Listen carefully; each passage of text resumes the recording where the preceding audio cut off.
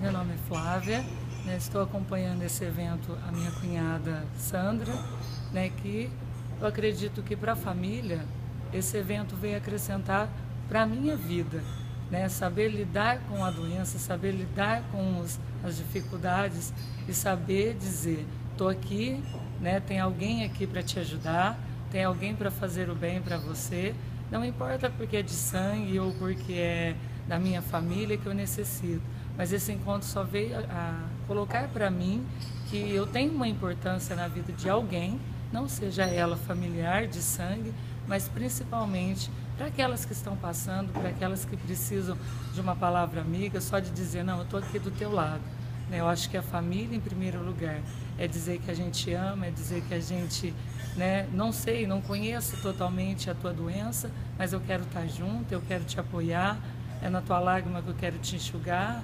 Então eu acho que esse evento só veio acrescentar na minha vida, que hoje eu tenho filhos, tenho meu esposo, e eu sei que daqui para frente, talvez eu não sei daqui a um ano, daqui a um dia, amanhã, mas eu sei que ele só veio dizer para mim que vale a pena a gente investir naquilo que é importante na vida, né?